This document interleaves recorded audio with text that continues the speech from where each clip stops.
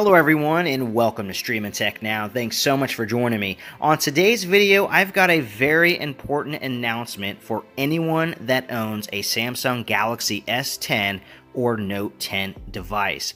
Samsung has another huge problem on its hands. Basically, what is happening is millions of Galaxy S10 users and Note 10 users need to know about this. It's been discovered that you can actually bypass the phone's cutting edge ultrasonic in display fingerprint sensor with nothing more than a $3.50 silicon case, similar to what you're seeing in the photo right now. That's not the exact one, that is just a similar picture of those front and back wraparound type cases. But essentially, what is happening is that by having that case on, it's confusing the fingerprint sensor and it's accepting any fingerprint.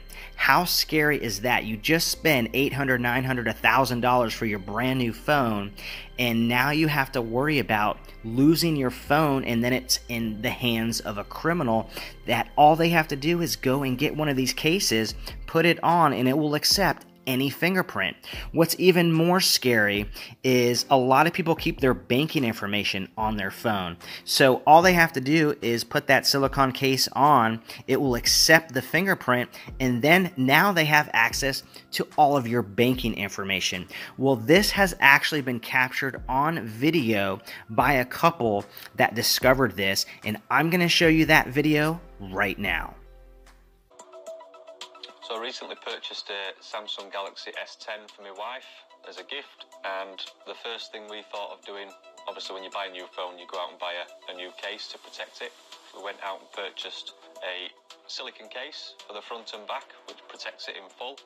Um, my wife got home and went through the setup of the phone which asked her to register a fingerprint and she did do that and we thought the phone would be secure with the fingerprint registered, but I'll just show you that there's one fingerprint registered, which is my wife's. I'll just get her to log in.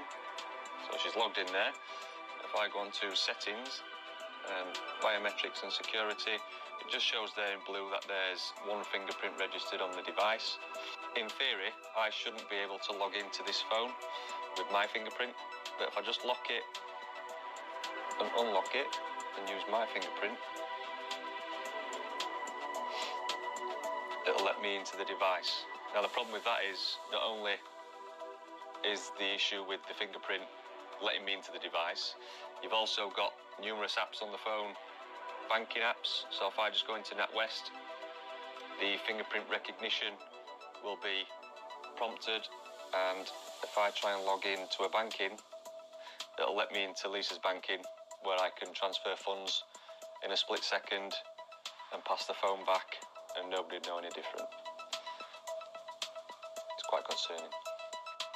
So that was a quick video of the couple demonstrating their issue. Now you're probably wondering what Samsung is doing and saying about all this. Well, they did release an official statement and that was this. We're investigating this internally. We recommend all customers to use Samsung authorized accessories specifically designed for Samsung products. So it does appear that they are taking this seriously. They are investigating this internally. So it will be interesting to find out what ultimately comes about this. Now, what do you guys think? Let me know in the comments. Do you think this is Samsung's fault? Do you think this is somehow the case's fault? Some people are saying this couple actually registered the fingerprint through the silicon case. Well, I asked myself, is that even possible? Those silicon cases are kind of thick, so I don't know that it's possible for the phone to actually register your fingerprint through the case. But if it is possible, then perhaps it was able to trap the fingerprint.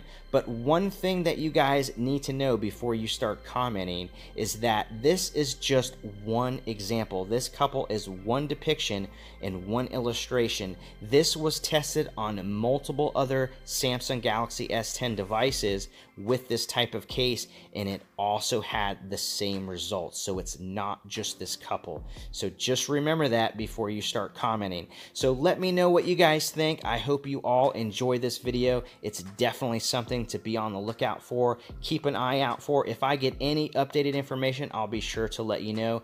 Don't forget to hit that thumbs up, subscribe to the channel, and if you have any friends that have a Samsung Galaxy S10 or Note 10, don't forget to share this video with them. Thank you for joining me today, and I will see you next time on Stream & Tech Now.